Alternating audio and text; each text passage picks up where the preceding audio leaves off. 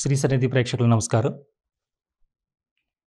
ఇప్పుడు మనం ప్రకృతి వ్యాలీ వ్యవస్థాపకులు అలాగే మహాకరుణ ధర్మ ప్రచార పరిషత్ స్థాపకులైనటువంటి దాట్ల రాయ్ జగపతిరాజు గారితో ఇప్పుడు మనం ఉన్నాం. పిఎస్ఎస్ఎం మూమెంట్ వ్యవస్థాపకులు బ్రహ్మర్షి పితామహ పత్రిజీ గారి భూలోకయాత్ర అనంతరం వారి యొక్క సిద్ధాంతాలను వారి యొక్క ఆదర్శాలను వారి యొక్క ధ్యాన ప్రచారాన్ని ఇప్పుడున్నటువంటి వారు ఎలా ముందుకు తీసుకెళ్ళాలి ఏ విధంగా చేయాలి ఈ పిఎస్ఎస్ఎం మూమెంట్ ఏ విధంగా ముందుకు వెళ్ళాలి అలాగే పత్రిజీ గారితో ఆయనకు ఉన్నటువంటి అనుబంధం ఏంటి అనే విషయాలని ఇప్పుడు మనం తెలుసుకుందాం. నమస్కారం గురుగారు. నమస్కారం.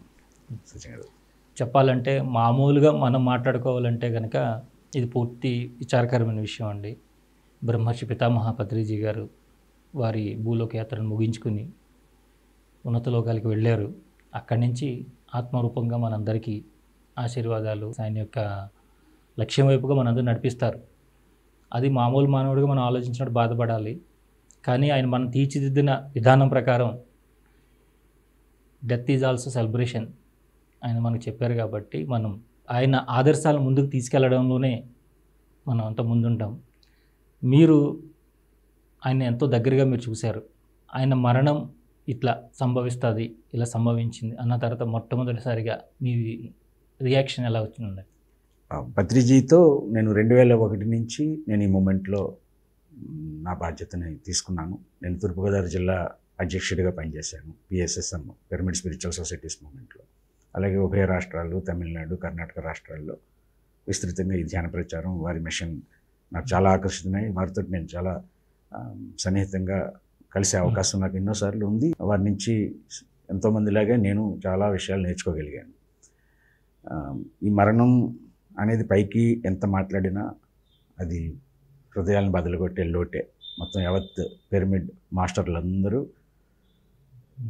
వారు నేర్పిన దాని ప్రకారం అక్కడ ఏడవలేదు కానీ అందరి హృదయాల్లో ఆయన మిస్ అయింది. నిజంగా నా గంభీరమైన ఒక మంచి గైడ్ ఒక గురువుగానే కాకుండా ఒక మంచి స్నేహితుడిగా. అందరితో ఎంతో స్నేహపాత్రంగా ఉండడం అనేది పత్రిజీ యొక్క గొప్ప లక్షణం. మేమందరం ప్రతి వాళ్ళు కూడా పిరమిడ్ సొసైటీలో అందరూ కూడా ఏమనుకుంటారంటే నాకెంతో ఆత్ ఆత్మీయుని నేనే. పత్రిక గారికి చాలా ఇంపార్టెంట్ అనేలాగే ఉంటుంది అందరితో. అలాగే నాకు కూడా ఎంతో గౌరవం ఎంతో ప్రేమ వారి నుంచి లభించింది ఎంతో జ్ఞానం వారి దగ్గర ఉంది. దాంట్లో కొంతైనా తీసుకునే భాగ్యం మాకు దొరికింది. ముఖ్యంగా పత్రిజీ ని చేరిన తర్వాతే నేను శాఖాహారిని అయ్యాను రెండు వేల ఒకటిలో నేను పత్రిజీని మొదటిసారి కలవడం జరిగింది. ఆ మొదటి ఏదో పబ్లిక్ మీటింగ్లో వారి యొక్క సందేశం విన్న తర్వాత నేను ఈ మూమెంట్లోకి రావడం నేను శాఖాహారి అవ్వడం నేను ఏం చెప్తానంటే సంప్రదాయ హిందూ కుటుంబంలో ఉన్నాను. ఆర్ఎస్ఎస్ బాగా నాకు నచ్చిన సంస్థ. భారతీయ జనతా పార్టీలో నేను నేషనల్ కౌన్సిల్ మెంబర్గా చేసేవాడిని. రాజమండ్రి దగ్గర నా వృత్తి ప్రిన్సిపల్గా నేను ఒక జూనియర్ కాలేజ్ ప్రిన్సిపల్గా. కానీ వీరిని కలిసిన తర్వాతే స్పిరిచువాలిటీ అంటే ఫస్ట్.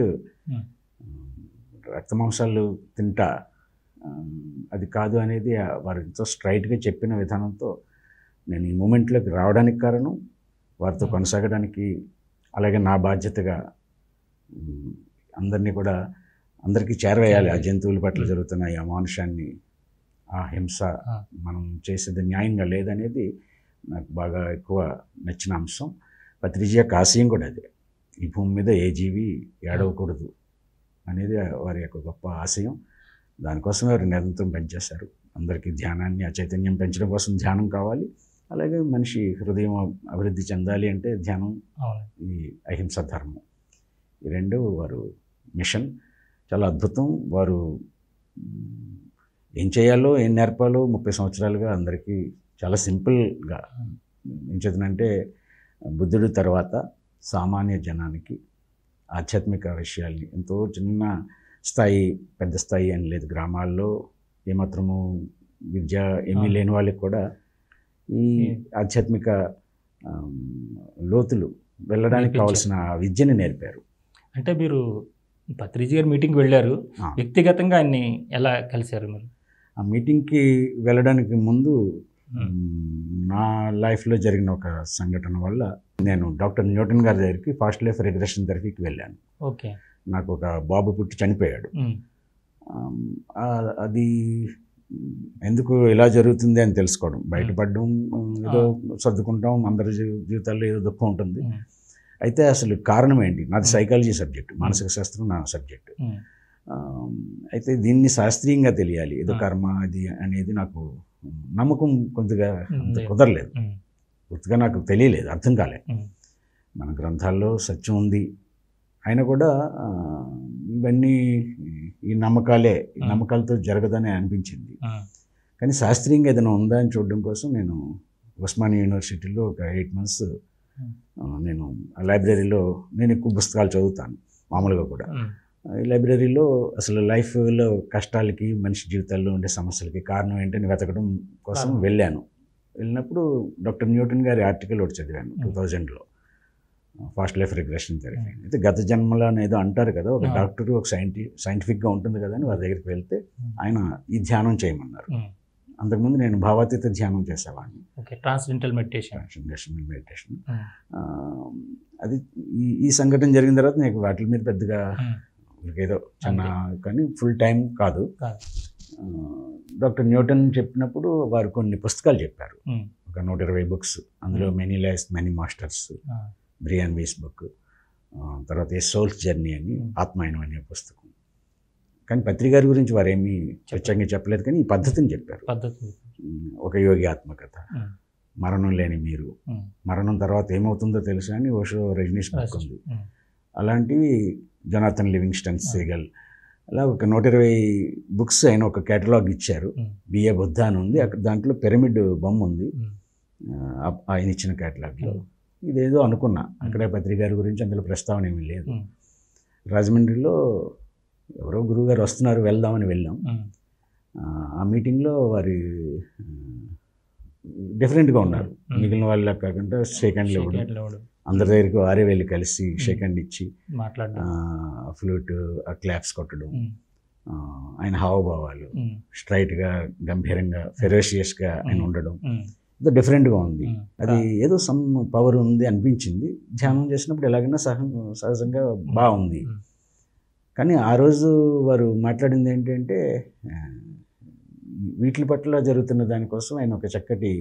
ఆ ప్రిన్సిపల్స్ని వారు వేమన పద్యం కానీ వారు చెప్పిన విధానం కానీ మనం ఏమిస్తామో అదే పొందుతాం కదా. హింసించి చిన్న చిన్న పాపాలు చిన్న చిన్న రోగాలు అని ఏదో పాట ఆ, మనం నిజమే కదా మనం వాటిని మనకంటే చిన్న జీవుల్ని హింసించి మనం ఈవేళ మనం భగవంతుని మనకి కరుణ కావాలి. లేకపోతే నాకు ఆశీర్వచనాలు కావాలని కోరడం. కరుణ కావాలా ఆరోగ్యం కావాలంటే? అనేది మంచి ప్రిన్సిపలే కదా ఇందరు ఏదో ఉంది. అనిపించింది. తర్వాత వారిని కలవడం. ఇంకా వారితోటే చాలా ఇంకా ఈయన చక్కటి ఒక గొప్ప గైడ్ ఒక గొప్ప గురువు. ఎలా పరిచయం చేసుకున్నారు సార్ మిమ్మల్ని? ఎవరో చెప్పారు. మన వాళ్ళు ఎవరో అక్కడ ఒక ప్రొఫెసర్ గారు ఉండేవారు రఘునాథరావు గారు. వారిని కలిసేవాడిని. వారు మ్, ఎప్పుడో పత్రిజీ వారి ఇంటికి వచ్చినప్పుడు పిలిపించారు. వెళ్తే అప్పుడు ఈ జిల్లా బాధ్యత నిమిది పెడుతున్నాను నాయన అని వారు. అన్నారు చూడాలి అని. చాలా గొప్పగా అనిపించింది. అంత పెద్ద గురువు. ఎవరో ఒక ఎవరో తెలియని వాడిని నీకు ఇంత బాధ్యత అని అనడం. తర్వాత ప్రతి నెల. తూర్పుగోదావరి జిల్లాలో ఏదో ఒక కార్యక్రమం మేము ఏర్పాటు చేసి అడిగితే వారు వచ్చేవారు మా గ్రామంలో మా ఇంటి దగ్గర ఉండేవారు. మా కజిన్ మేమంతా ఉండేవారు అంచేత వారితోటి చాలా ఆ క్లాసెస్ అయిన తర్వాత కొంతసేపు ఆ ప్రోగ్రామ్స్ అయిన తర్వాత. నైట్ టైము వారు ఏ కాన్సెప్ట్స్ చెప్పడం ఏమైనా సందేహాలు వారిని జాగ్రత్తగా అడగాలి సింగిల్ లైన్ ఆన్సర్లో మనం- తీసి ఉంటుంది బయటపడేస్తారు డీటెయిల్డ్గా. ఎక్స్ప్లెనేషన్ ఉండదు వారి దగ్గర చాలా అలాగే తప్పుగా మనం మాట. చాలా ఇదిగా ఉండాలి వారి దగ్గర చాలా నేర్చుకుంటాం ఎలా మాట్లాడాలి. ఎలా ఆహార వ్యవహారాలు ఎలా ఉండాలి. ఇవన్నీ కూడా అంటే ఆయన బోధిస్తే వెళ్ళరు బట్ ఆయన చూసి మనం నేర్చుకోవాలి. తర్వాత ఆయనలో బాగా నచ్చిన గుణం ఏంటంటే అందరి ఆధ్యాత్మిక గురువుల్ని వినాలంటారు. మమ్మల్ని కూడా విపసనకి వెళ్ళమన్నారు. నేను వెళ్ళకపోయాను కానీ అందరూ Vipassana eleven days ten days practice చేయాలని. అలాగే అన్ని ఆధ్యాత్మిక గురువుల్ని వారి వల్లే పరిచయం అయింది. ముఖ్యంగా నాకు తెలిసి ఈ ఇంతమంది మాస్టర్స్ ఈ ఈ మన ఈ సైకాలజీ మేము. పర్సనాలిటీ డెవలప్మెంట్ బుక్స్ చదివినప్పుడు అవేవో ఏబీసీలాగా ఉన్నాయి. ఆ డెప్త్ ఉన్న బుక్స్ కానీ ఆ మహనీయులు కానీ పరిచయం పత్రిజీ వల్లే జరిగింది. ముఖ్యంగా ఓషో పత్రిజీ వల్లే నేను ఓషోని చదివే భాగ్యం కలిగింది. చాలా అంతర్జాతీయ స్థాయిలో ఎంతో ఉన్నట్టు ఉన్నతమైనటువంటి రచయితల్ని లోక్ సంగ్రామ్ మ్మ్. నీల్ డొనాల్డ్ వాల్ష్ కానివ్వండి. అలాగే మరి పీటర్ రిచ్లు. ఇలాంటి ఎంతోమంది.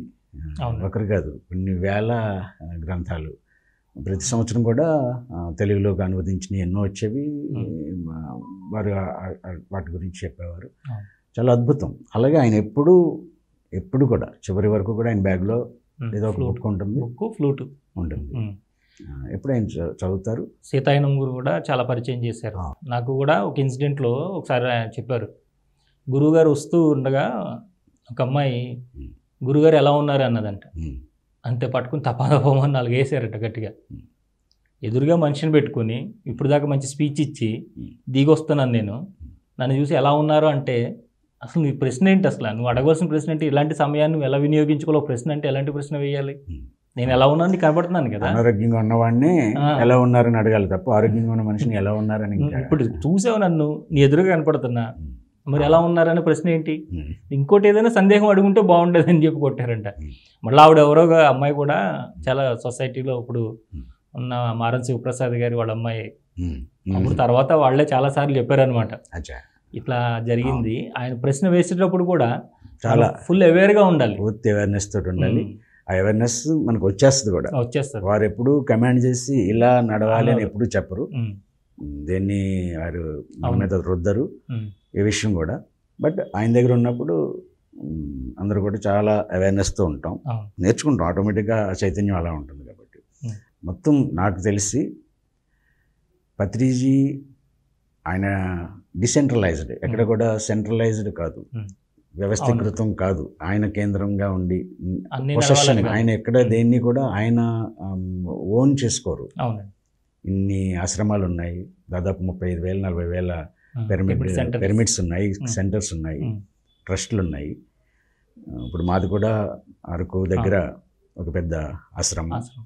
దానికి సంబంధించిన ఏమీ విషయాల్లో కూడా వారికి. ఆర్థిక కానీ లేకపోతే ఓనర్షిప్లు కానీ ఏమీ. ఉండవు ఆయనకి తెలియదు కూడా.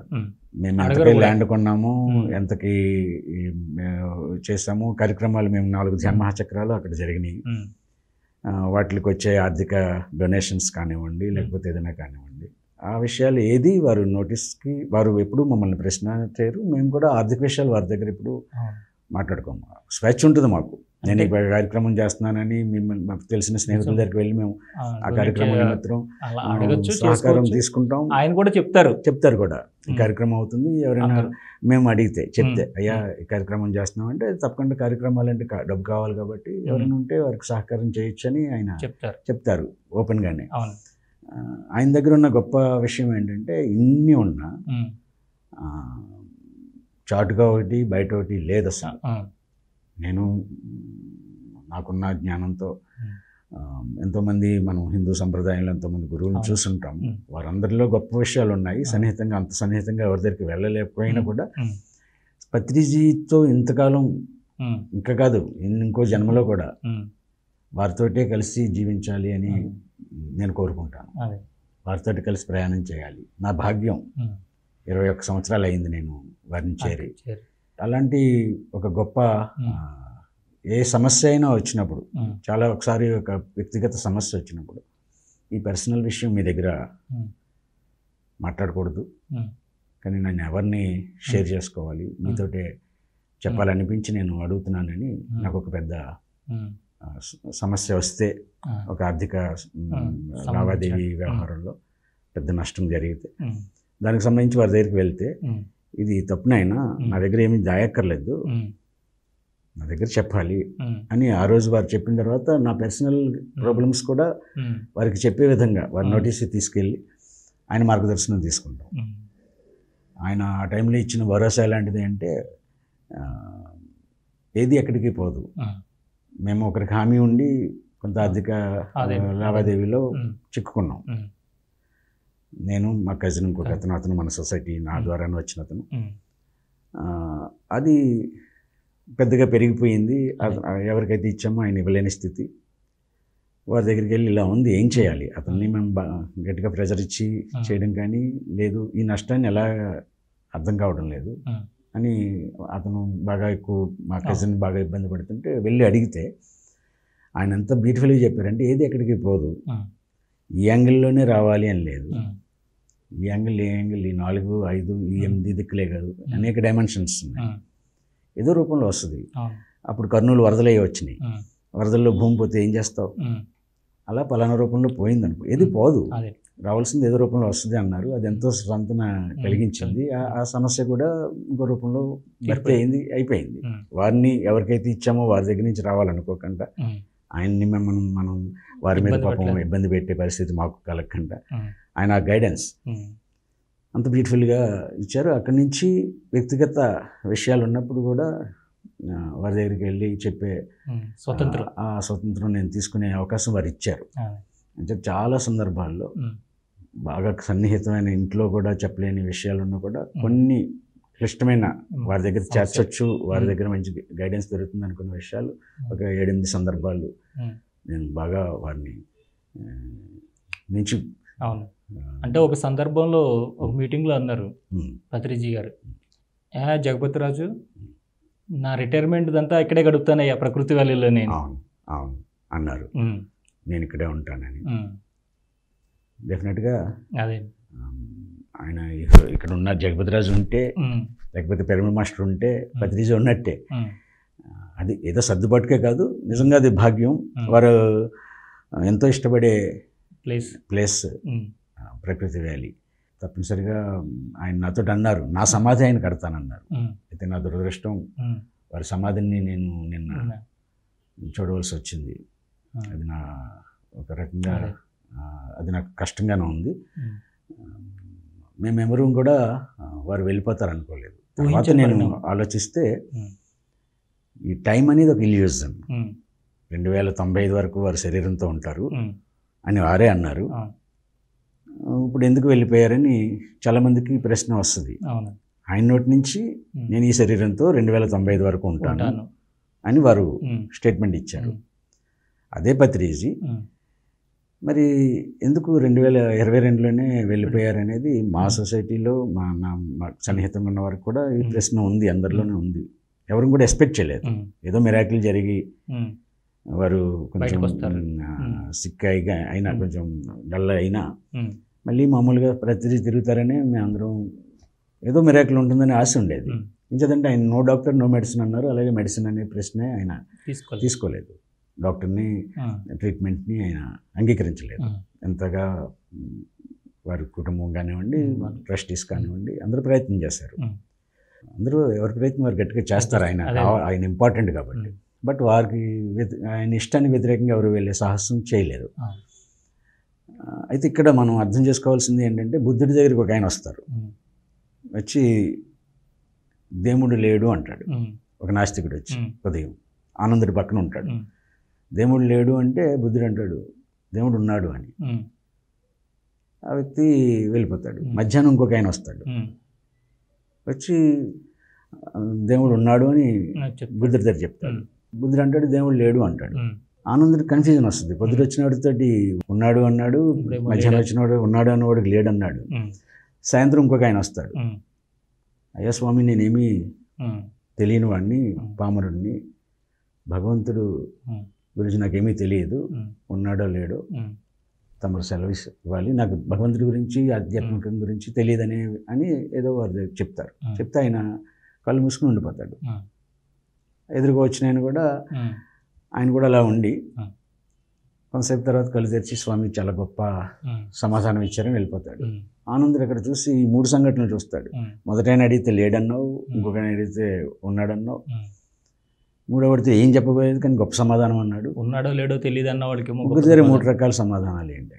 ఇది మామూలు రీజనింగ్ మైండ్తో ఆలోచిస్తే ఉన్నాడన్నాడు ఇటు దగ్గర లేదన్నాడు. అయితే రెండు వేల తొంభై ఐదు వరకు ఉంటానన్నాడు. ఇప్పుడే వెళ్ళిపోయారు. ఇవన్నీ మనకు వస్తాయి. అంటే. రీజనింగ్. నేనేదో లాజిక్ గురించి మాట్లాడడం లేదు. కానీ ఒక ఎన్లైటెన్ మాస్టర్ సత్యం తప్ప ఇంకోటి ఉండదు వారి దగ్గర నుంచి వచ్చేది. మన ఈ త్రీ డైమెన్షనల్ ఈ ఫ్రీక్వెన్సీలో ఈ మాయని అనలైజ్ చేసి చెప్పుకోవడం అనేది సాధ్యం కాదు. కాలం అనేదే ఒక ఇల్యూషన్ అటువంటిప్పుడు రెండు వేల తొంభై ఐదు అయినా రెండు వేల ఇరవై రెండు అయినా రెండు వేల అయినా అంతా ఒకటే ఉన్నది ఒకటే అది మనం అది. మల్టీ డైమెన్షనల్ ఆ స్టేట్లో అదంతా వాస్తవమే. వారు ఉన్నారు ఉంటారు ఎప్పటికీ. Neither be created nor be destroyed best. Energy um, అదే వారు మాట్లాడేది. తొంభై ఐదు వరకు అనేది నా వరకు నాకున్న పెర్సెప్షన్లో ఉమ్, అప్పటికి ఈ భూమి మీద ఏ జీవి ఏడవకుండా ఉండే. పరిస్థితి వస్తుంది ఈ భూమండలం మీద ఏ జీవి ఏడవకుండా ఆఖరి జీవి హాయిగా. నవ్వుతూ నిష్క్రమించే వరకు పిరమిడ్ స్పిరిచువల్ సొసైటీస్ మూమెంట్ కొనసాగాలి. అదే వారి యొక్క. లక్ష్యం. ఆశయం అదే మనందరి ఎవరైతే. కొంచెం మానవత్వం ఉందో ఎవరికైతే. ఒక రెస్పాన్సిబిలిటీ ఉందో. వారందరూ కూడా ఈ మిషన్ని తీసుకుంటారు. అది పిరమిడ్ మాస్టర్ లేకపోతే పత్రిజీని. అనుసరించడము కాదు. హ్యుమానిటీ యొక్క. బాధ్యత. ఈ భూమి మీద బలహీనంగా ఉన్న జీవుల్ని అమానుషంగా హింసించి చంపడం చాలా అన్యాయం. ఆ ఒకే లక్ష్యం. ఆ లక్ష్యం వైపు వెళ్ళాలి అంటే తప్పనిసరిగా అతనికి చైతన్యం కొంచెం వికాసం చెందాలి. ధ్యానం ప్రతి మనిషిలోని చైతన్య వికాసాన్ని కలిగిస్తుంది. ధ్యానాన్ని ఆయన ఒక ఇన్స్ట్రుమెంట్గా. నేను తీసుకున్నారు తప్ప. ధ్యానమే ఆయన లక్ష్యం కాదు. ధ్యానం వల్ల ఈ భూమి మీద అద్భుతాలు జరుగుతాయి జరుగుతాయి అంటే తనను తాను తెలుసుకుంటే అన్ని తెలుసుకోగలుగుతాడు. కాబట్టి ధ్యానంలో కూర్చోబెట్టారు ధ్యానం ధ్యానం అనేది అంతకు అవసరం.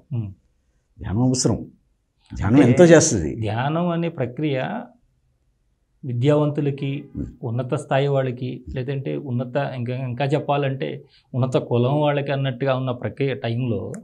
దీన్ని సాధారణ స్థితికి సాధారణ మానవులకి గ్రామ స్థాయిలోను అలాగే చెట్లలోను కొండల్లోను పుట్టల్లోను ఏ వృత్తిలో ఉన్నా ఏ వృత్తుల్లో ఉన్నా ఏ వ్యాపారంలో ఉన్నా అసలు వృత్తులు వ్యాపారాలు కులాలు మతాలకి. అతీతంగా. మతాలకు కూడా అతీతంగా ఎక్కడున్నా. గుళ్ళో ఉన్నా బళ్ళో ఉన్నా చర్చిలో ఉన్నా ఎక్కడున్నా. అందరూ చేసే విధంగా ఇది. ధ్యానం. అని తెలియజేసిన ఒకే ఒక వ్యక్తి గొప్ప సరళంగా ఎక్కడ గ్రాంధికం కానీ ఏమీ లేకుండా లేకపోతే వాడికి అర్హత ఉండాలి ఉచితంగా నిజంగా పత్రిజీ ఎక్కడ ఎప్పుడు ఆయన ఏమీ కోరుకోలేదు. అవునండి. అంటే ఈ PSSM movement pyramid spiritual societies movement ఈ పిరమిడ్ మాస్టర్స్ కోసం. ఆయన ఖర్చు. మొత్తం ఆయన శక్తిని అంతా. చివరికి ఆయన ఆయుష్ను కూడా చెప్పాలంటే ఈ భూమండలం మీద ఉన్న. జీవుల కోసం. కోసం.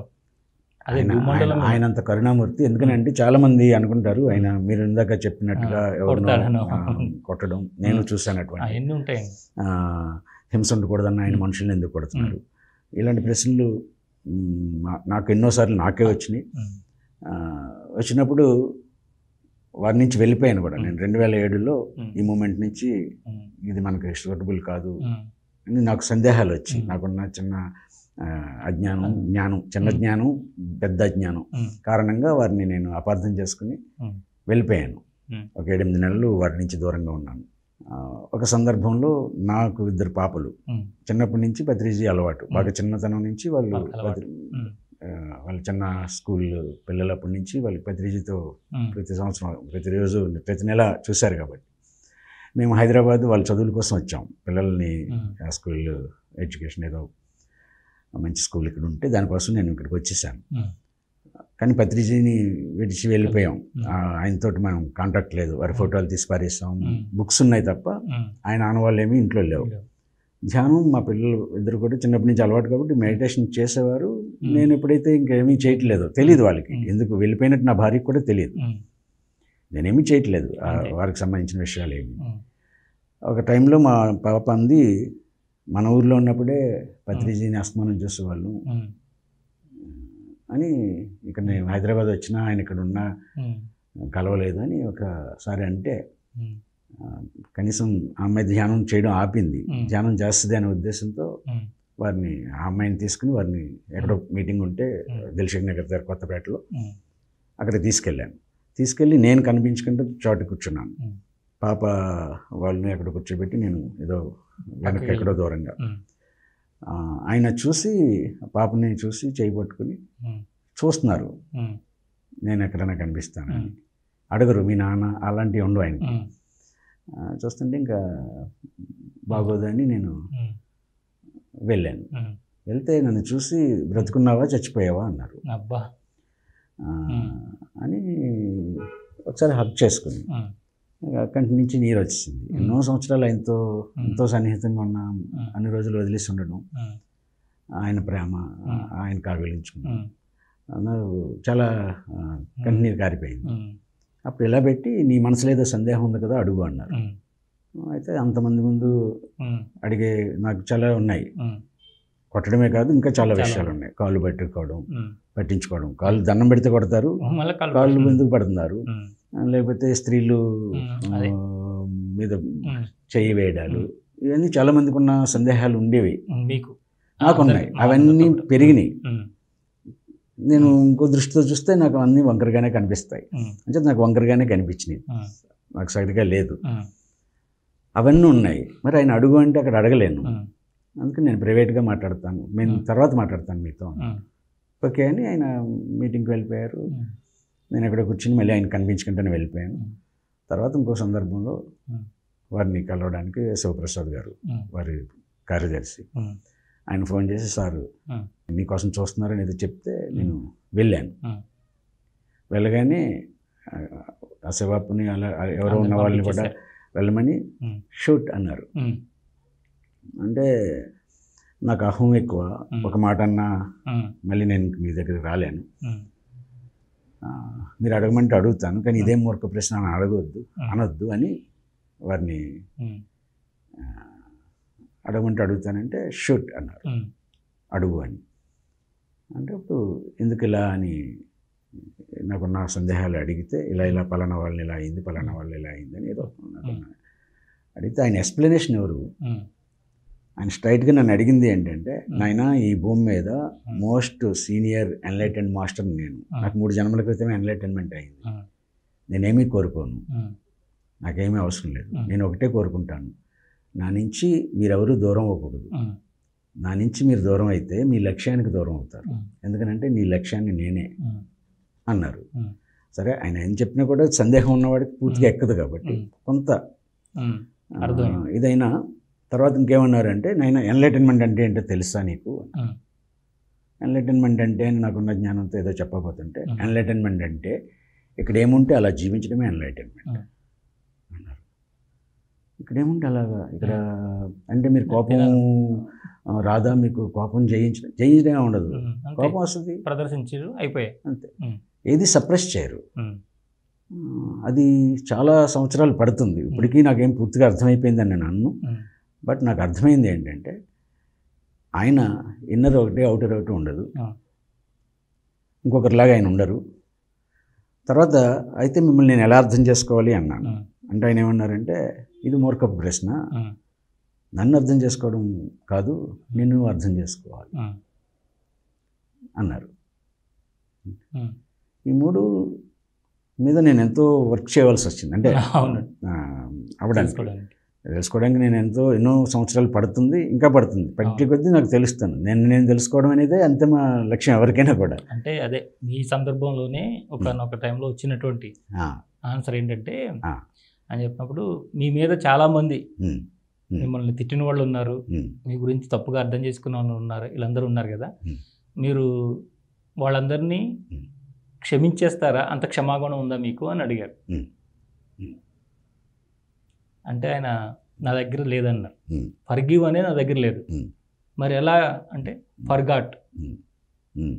అంతే. క్షమించడం లేదు. మర్చిపోవడమే ఉన్నది అది. క్షమించడం అంటే మళ్ళీ గుర్తుపెట్టుకోవడం ఉంటుంది దాన్ని.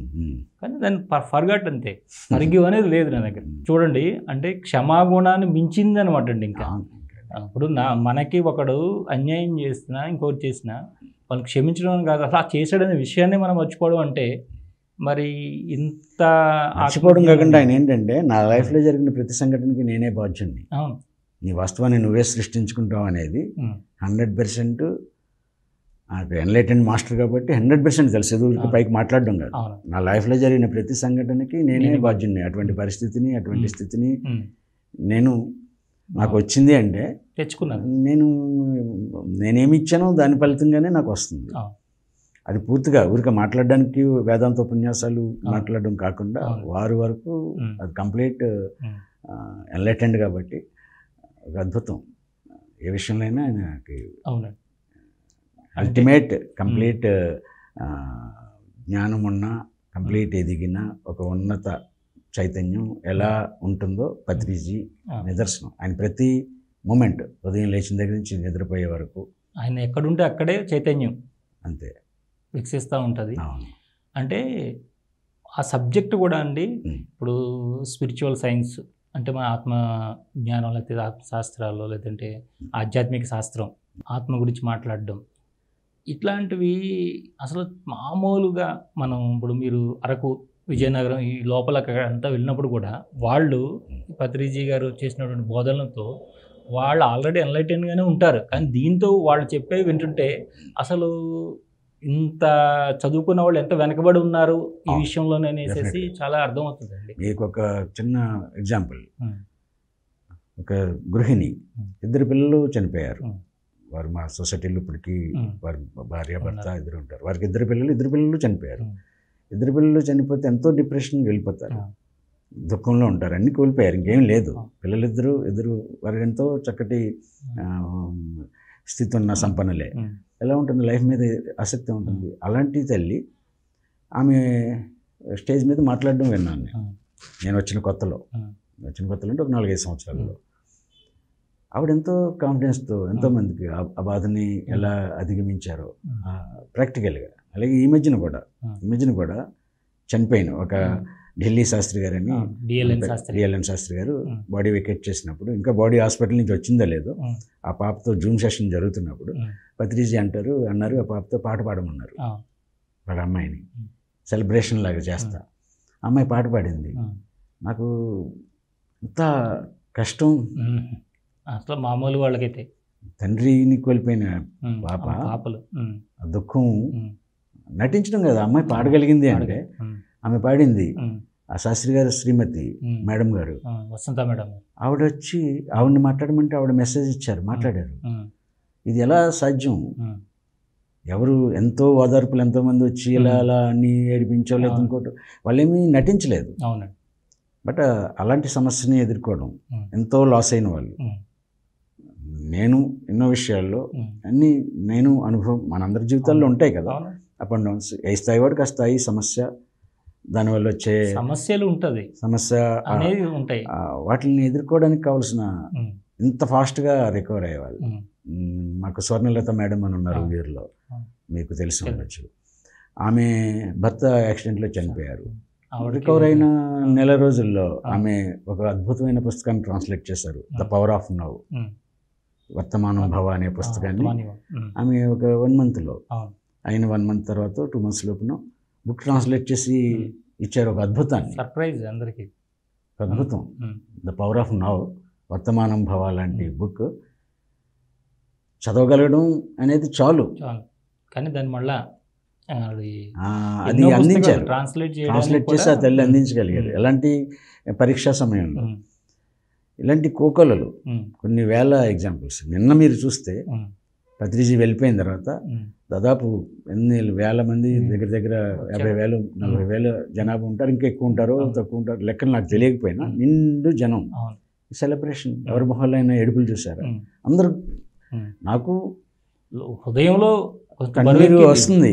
నా కన్నీరు ఇంకోటి చూస్తే వాడికి అంటుకుంటుంది. నేను నా నా నా. దుఃఖాన్ని నేను దిగమింగుకొని. నేను క్లాప్స్ కొడుతున్నాను. ఆ క్లాప్స్ కొడుతున్నప్పుడు మా అందరిలో దుఃఖం లేదు. ఒక సెలబ్రేషనే జరిగింది. మీరు చూడండి అది ఎక్కడైనా సాధ్యమా. అందరూ. పత్రి గారి సమస్య ఏదో కిడ్నీ అంటున్నారు కదా ఆయన కిడ్నీ ఇవ్వడం కోసం. పిరమిడ్ స్పిరిచువల్ సొసైటీలో ఉన్న లక్ష ముప్పై వేల మంది రెడీయే రెడీ అవునండి ఆయన ఇమ్మంటే. చిన్న యూత్ పిల్లలు కూడా ఇస్తారు. ఇమ్మని ఆయన అనక్కలేదు ఈ అవసరం ఉంది అంటే అంతే చాలు తెలిస్తే చాలు ప్రాణం ఇవ్వడానికి రెడీ. ఎవరైనా కూడా. అంటే అంత అభిమానం ఏదో. త్యాగం కోసం కాదు అభిమానం అంతే ఎందుకంటే ఆయన ఆయన బాగుంటే. ఈ భూమి బాగుంటుంది. ఆయనతోటి ఉంది.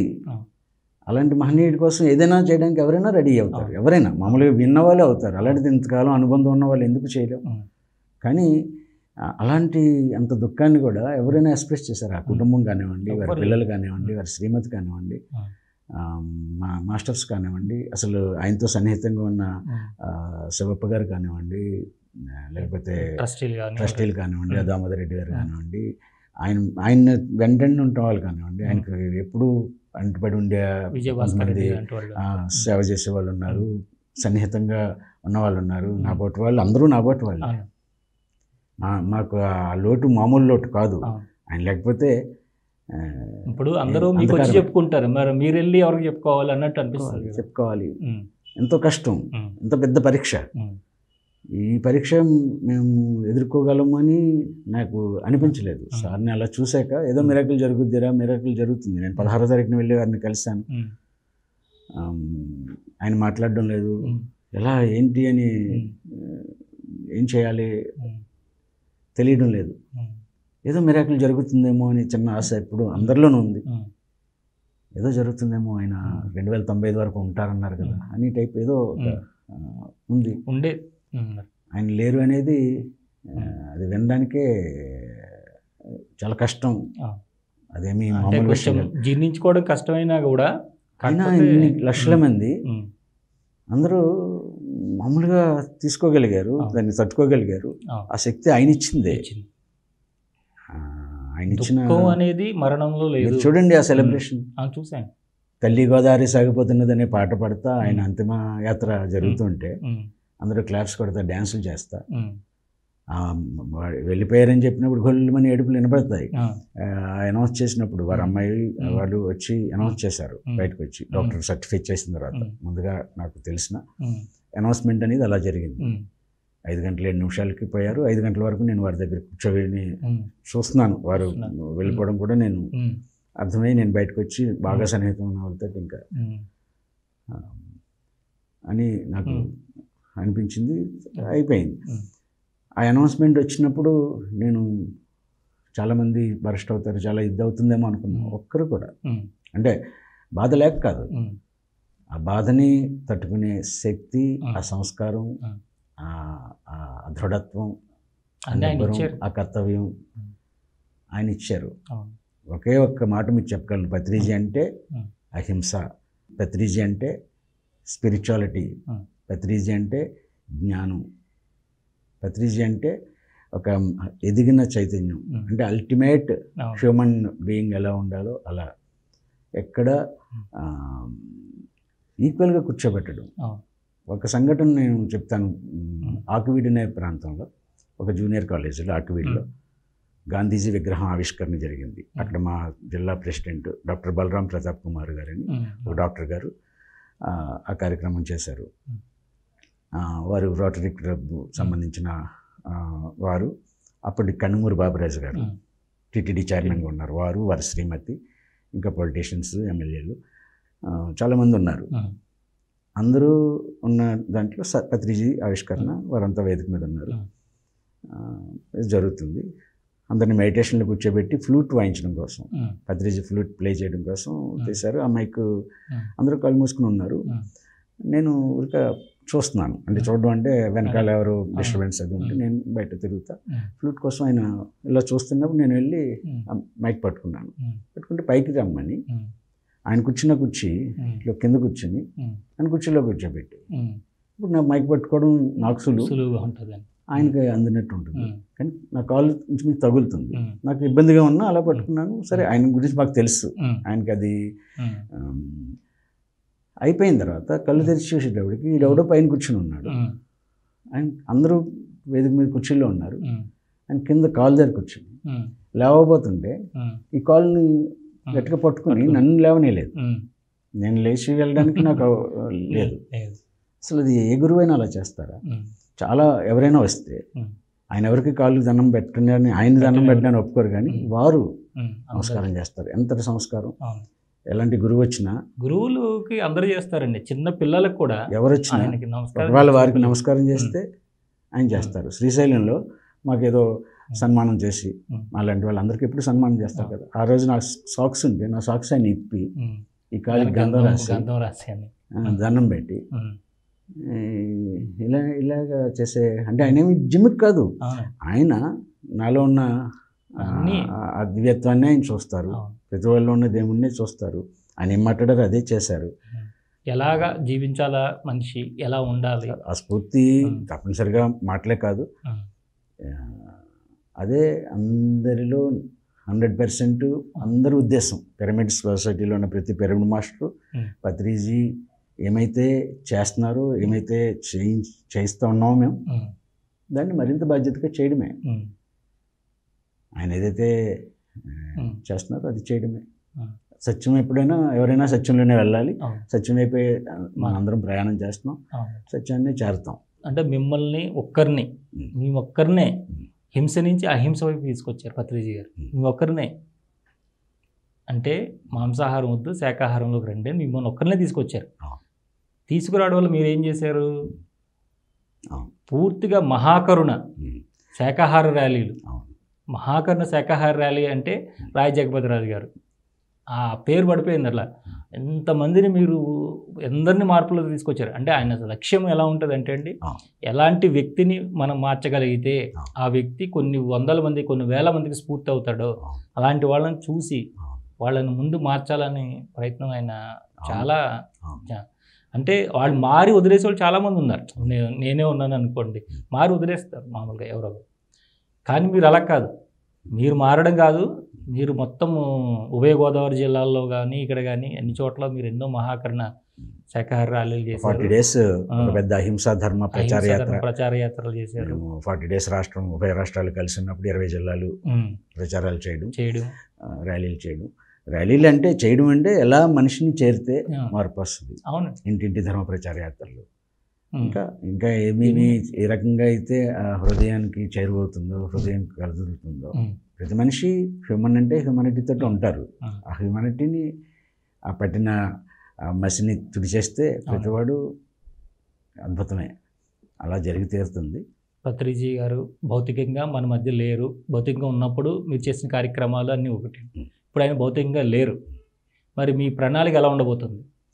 ఆయన ఇంక రోజు చేయబెట్టి నడిపించక్కర్లే. ముప్పై సంవత్సరాలుగా ఆయన చేరిన ప్రతి వాడికి ఒక్క నిమిషంలో ఆ.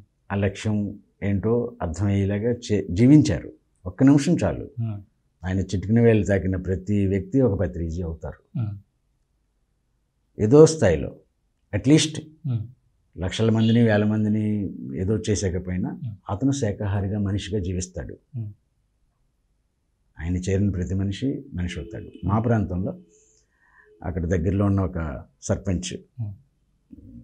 విజయనగరం జిల్లాకు చెంది మన ఆశ్రమానికి ఊరికి ఏదో జరుగుతుందట చూద్దామని ఆ స- ఏదో సంతలు ఉంటాయి ఆ సంతలు. ఏవో కొనుక్కోవడానికి వచ్చి వచ్చి ఆ రోజు కూడా మాంసం బాగా. కొనుక్కుని. గొర్రె మాంసం ఏదో. కటింగ్ చేసిందో. దొరికితే తొందరగా వెళ్ళిపోవాలి ఫ్రిడ్జ్లో పెట్టుకోవాలి పాడవుతుంది కానీ ఎవరో గురువు గారు ఉన్నారట అని వచ్చాడు వచ్చాడంట ఎవరు ఉన్నారు కదా. భక్తి బొట్టు అన్నీ ఉంటాయి భక్తి ఉంది. వచ్చి వెళ్ళాడు. వెళ్ళి ఆయన కలిశాడు సెకండ్ ఇచ్చారు ఎవరో చూపించారు అందరూ ఈయన ఎవరు ప్రత్యేకంగా నాకు తెలియదు కూడా. అతను ఎవరు కూడా. అయిపోయింది. వెళ్తున్నప్పుడు తను విసిరాలనిపించి విసిరేశాడు. మాంసాన్ని. ఆయన ఏం చెప్పలేదు. అతనికి తెలియదు. కొన్ని ఉపన్యాసాలు వినలేదు. ఉమ్. మేమెవరూ చెప్పలేదు. అతనికి అలా అనిపించింది. అంతే. ఇంటికి వెళ్ళాడట ఇంటి దగ్గర కూడా ఫ్రిడ్జ్లో అంతకుముందు ఏవో చేపలు ఇంకోటి ఇంకోటి ఏవో ఉన్నాయట. వాళ్ళ అన్నయ్యకి ఎవరికో ఆ, అంతే. ఆ భార్యతో అన్నాడట. ఎవరో గురువుగారిని కలిశాను. ఉమ్, ఎందుకో ఇంకా అది తినాలి తినకూడదని కానీ అతనుకి అదంటే చనిపో చచ్చిపోతాడంట. ఒక కోడిని ఒక అతను తింటాడట. అంత పిచ్చి. అంత పిచ్చి. అంత ఇష్టం. అతను ఈ మధ్యన ఒక వారం పది రోజుల క్రితం నన్ను కలిసినప్పుడు చెప్పే వరకు నాకు తెలియదు. నేను అప్పటి నుంచి శాఖాహారిగా ఉన్నాను సార్. ఉమ్, గురువుగారిని కలిస్తే మహానుభావుడు అని అంటున్నాడు ఆ, ఆయన ఎవరో అప్పుడప్పుడు వస్తాడు? వస్తారు. వెళ్తారు. కొనుక్కోవడానికి అవి. కొనుక్కోవడానికి ఆశ్రమానికి వచ్చినప్పుడు మన ఆశ్రమానికి వచ్చినప్పుడు. పళ్ళు పొలాలు పట్టుకొస్తాడు పిల్లలకి అది ఇవ్వడానికి ఆయన అలా అన్నాడు. అంటే ఆయన ఆయన చెయ్యిని తాకిన వాడికి. ఆ మార్పు వచ్చినప్పుడు ఆయన మాట విన్నా. ఆయనతో కలిసి నడిచి కలిసి నడిచిన వీళ్ళు? తప్పనిసరిగా అందరూ ఒక్కొక్కరు ఒక పత్రిజీ ఈ మూమెంట్. ఎప్పుడూ అలా కొనసాగుతుంది మల్టిఫై అవుతూనే వెళ్తుంది. ఎందుకంటే ఇందులో ఏమీ లేదు ఆ ధ్యానం డీసెంట్రలైజ్డ్ కాబట్టి ఎప్పుడు ఎలా ఎలా ఎవరికైనా ఎవరైనా చెప్పొచ్చు దీనికి ఏమి ఇచ్చిపుచ్చుకునే వాళ్ళు కండిషన్స్ దానికి ఏమీ లేవు కాబట్టి. బస్సులో ఆటోలో ఇంకో దగ్గర కనబడిన. వాడికి ధ్యానం ఎలా చేయాలో నేర్పడం. అయినా కొంచెం. అవి బాధపడుతున్నాయి. ఈ రక్త మాంసాలు మనుషుల. ఆహారం కాదని ఎవరి స్థాయిలో వారు చెప్పడం మార్పు అనేది జరుగుతుంది ఇన్ని లక్షల మంది అప్పుడు అలాంటి ప్రెసిడెంట్ లాంటివాడు నాలాంటివాడు మారినప్పుడు అందరూ మారితే మారుతారు మరి మీరు ప్రకృతి వ్యాలీ. ప్రణాళికలు ఏంటి మరి ఇప్పుడు నెక్స్ట్ ఏదైతే ఆయన. లక్ష్యం ఉందో ఒక. పూర్తి శాకాహార ధ్యాన గ్రామం ఒక స్పిరిచువల్ కమ్యూన్ కావాలంటే తూర్పుగోదావరి జిల్లాలో ధ్యాన జగతి. పరిశుద్ధ శాకాహార ధ్యాన గ్రామాన్ని రెండు వేల పదిలో మా మిత్రుడు త్రిమూర్తి గారని వెస్ట్ గోదావరి మాస్టర్ వారుకి ఈ ఇలా చేస్తే బాగుంటుందని నాకు అనిపించింది చెప్పాను ఒక శాకాహార గ్రామం. వారికి ప్రోత్సహించి వారితో కలిసి ఆ గ్రామాన్ని స్థాపించడం జరిగింది. మొట్టమొదటి పూర్తి శాకాహార ధ్యాన గ్రామాన్ని స్థాపించే భాగ్యం నా గ్రామంలో కలవచల్ల గ్రామంలో. పత్రిజదే అన్నారు. జగపతిరాజు గ్రామంలో ఒక శాకాహార గ్రామం. దానికి దూరంగా ఆ గ్రామానికి దూరంగా. తయారైంది. అది తయారైనప్పుడే అరకు ప్రాంతంలో ఎవరో మా కజిన్కి వారి. బంధువులు ఎవరో వచ్చి. ఇక్కడ ల్యాండ్ ఉంది అంటే వెళ్ళి చూసి ప్రశాంతమైన కొండలు. సెలయేర్లు ఒక గొప్ప వాతావరణం. అక్కడ నాకు అన్ని పిరమిడ్లు కట్టవయ్యా అన్నారు. ఆ ల్యాండ్ ఇలా ఉంది అని. చెప్తే. అలా మేము అక్కడికి వెళ్ళి అన్ని పిరమిడ్ హౌసెస్ కడతా. చేస్తున్నాం. మధ్యలో కొన్ని ఎప్పుడు ఉంటాయి మీకు తెలియదు కదా. కదా ఆ ల్యాండ్కి సంబంధించిన రెవెన్యూ ఇష్యూస్ కొన్ని ఉన్నాయి. అవి అలా ఒక్కొక్కటి పరిష్కారం అవుతా. రెండు వేల పదకొండులో మొదలుపెట్టాం. నాలుగు ధ్యాన మహాచక్రాలు మహాకర్ణ ధ్యాన మహాచక్రాలు అయినాయి. ప్రతి సంవత్సరం ఫిబ్రవరి రెండు నుంచి పదకొండు వరకు జరుగుతుంది. ఈ సంవత్సరం మొన్న ఫిబ్రవరి రెండులో అంటే పత్రిజీ చేసిన ఈ సంవత్సరం చేసిన. ఒక పెద్ద కార్యక్రమం ఆయన అటెండ్ అయిన కార్యక్రమం. పెద్ద కార్యక్రమం ఇదే లాస్ట్. మా. మాది జరిగింది. అప్పుడు ఆయన వెళ్ళిపోతున్నప్పుడు బాయ్ బాయ్ అని వీడ్కోలు అన్నారు. మా పాప అంటుంది. సారు అవేళ ఉమ్, వీ- వీడ్కోలు అన్నారు అప్పుడు మనకు అర్థం లేదు. ఆయన బహుశా ప్రకృతి వ్యాలీ నుంచి వెళ్ళిపోతున్నాను బాయ్ అన్నారేమో. అది. జరిగింది. అది ఒక ఒక పత్రిజీ ఏమన్నారు అంటే ఆ, ఎప్పుడు అన్నదానాలు జరగాలి. నీ ఇంటికి ఎవరైనా వస్తే ఇంత డబ్బు కావాలని అడుగు. ఉమ్, ఇది ఎప్పుడు జరగాలి అన్నారు. వేరే వారికి ఎవరికో చెప్పడం విన్నాను నేను. అదే ఇక్కడ ప్రతి ప్రకృతి వ్యాలీలో జరుగుతుంది. ఎవరు ఏ టైంలో ఎప్పుడు వచ్చినా. కరోనా టైంలో కూడా నేను అస్తమానం వే- మన. ఛానల్స్ ద్వారా కానీ మిత్రుల ద్వారా కానీ. చెప్పేవాడిని. ఎవరు ఏ సమస్య ఉన్నా ప్రకృతి వ్యాలీకి రండి అది పిరమిడ్ మాస్టర్ల పుట్టిల్లు ఎవరికి ఏ సమస్య ఉన్నా. అక్కడికి వచ్చి అది ఉన్నదేదో మనం. ఉన్నదే తిందాం ఉన్నదే తింటాం అది మనది పత్రిజీ ఆశయం మేరకు తయారవుతున్న ఒక ఒక స్పిరిచువల్ కమ్యూన్. నేచర్ నేచర్ని ఎలాగా మనం ఇష్టపడతాం. నేచర్లో ఉండండి అక్కడ ధ్యానం చేసుకోవడానికి పిరమిడ్లు ఉన్నాయి ఒక పెద్ద పిరమిడ్ ఇంకా రాబోతూ ఉంది. భవిష్యత్తులో వారేమి మాకు చెప్పారో లేకపోతే వారు ఏది ప్రోత్సహించారో. ఆ పనిని నూటికి నూరు శాతం మనం చేస్తా వెళ్తాం. సేద తీరడానికి లేకపోతే ఇంకా ఆ స్ఫూర్తిని పొందడానికి శక్తిని పొందడానికి ఇప్పుడు కట్టాల్ మహేశ్వర మహాపిరమిడ్. ఒక గొప్ప క్షేత్రం. ముస్లింలకు మక్కా లాంటిదో. హిందువులకి తిరుపతి లాంటి పుణ్యక్షేత్రాలు ముస్లింలని కాదండి. ఎవరైనా సరే ఆధ్యాత్మిక అలాంటి ఉన్న వాళ్ళందరికీ కూడా. అందరికీ ఒక గొప్ప. వారి యొక్క సమాధి ఉన్న పవిత్ర స్థలం ఒక. పుణ్యక్షేత్రం. కర్తాల్ మహేశ్వర మహాపిరమిడ్. అనేది పిరమిడ్ స్పిరిచువల్ సొసైటీకి ఒక పుణ్యక్షేత్రం. అక్కడికి వెళ్ళాలా? అక్కడ అందరూ ఉండాలి. ప్రకృతి వ్యాలీకి రావాలి. ఇక్కడ ఉండాలి. మాకు గోదావరి జిల్లాలో గోదావరి దగ్గర వష్టిపతి మీ పిరమిడ్ ఉంది అక్కడికి వెళ్ళాలి. కోటాల్లో ఒక స్పిరిచువల్ కమ్యూన్ ఉంది అక్కడికి వెళ్ళాలి. సాధన చేసుకోవాలి. స్ఫూర్తిని పొందాలి అందరం కలిసి. మనందరం కలిసి. అన్ని ఆధ్యాత్మిక గురువులు. అన్ని ఆధ్యాత్మిక సంస్థలు అందరూ హ్యుమానిటీ అంతా ఒకటవడమే పిరమిడ్ యొక్క లక్ష్యం పత్రిజీ యొక్క లక్ష్యం. అందరం కలిసి విభేదాలు. మార్గాలు వేరు ఉంటాయి. ఉన్నా కూడా అందరూ చేసే పని ఒకటే కాబట్టి అదే ఆ మహనీయుడికి ఇచ్చే గౌరవం. ఇది మా మనందరి బాధ్యత. అలాగే. అంటే ఇప్పుడు వచ్చే ఫిబ్రవరిలో. ఈ మహాకర్ణ ధ్యాన మహాచక్రానికి మీరు రెడీగా ఉన్నారు. ప్రతి సంవత్సరం ఆయన. పది సంవత్సరాలు జరగాలి అన్నారు. పది సంవత్సరాలు ఇప్పుడు నాలుగు అయినాయి ఉమ్, తర్వాత వారు ఏ పేరు సూచిస్తారో ఎప్పుడు జరుగుతుంది. రెండు నుంచి పదకొండు వరకు ప్రతి సంవత్సరం పత్రిజీ ఎలా అయితే జరిపించారో అలాగే పిరమిడ్ మాస్టర్లు. ఈ సంవత్సరం రేపు జరగబోయే ఇరవై మూడు ఫిబ్రవరి రెండు నుంచి. జరిగేది. ఈ తెలుగు. రాష్ట్రాల్లో సీనియర్ పిరమిడ్ మాస్టర్లు అందరి యొక్క వారందరినీ సత్కరించుకుని ఈ ఈ మూమెంట్కి ఎంతో సేవలు చేసిన వారు ఇరవై ముప్పై సంవత్సరాలుగా పత్రిజీతో కలిసి నడిచిన మహనీయులు ఉన్నారు కాబట్టి. ఆ మాస్టర్స్ అందరికీ వారందరి యొక్క సందేశాలు వారందరి యొక్క ఆధ్వర్యంలో ఈ కార్యక్రమాన్ని జరుపుతాం.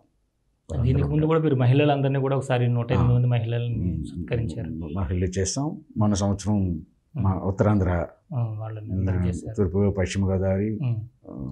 విశాఖ విజయనగరం శ్రీకాకుళం ఐదు జిల్లాల్లో పిరమిడ్లు కట్టిన కేంద్రాలు నిర్వహించే వాళ్ళందరికీ సత్కరించుకున్నాం. ఈ సంవత్సరం ఇప్పుడు జరగబోయే ఇరవై మూడు ఫిబ్రవరిలో జరిగే కార్యక్రమంలో. టోటల్ పిరమిడ్ సొసైటీకి. సీనియర్ మాస్టర్స్ అందరి యొక్క సందేశాలు. వారి పత్రిజిత వారికి ఉన్న అనుబంధాలు.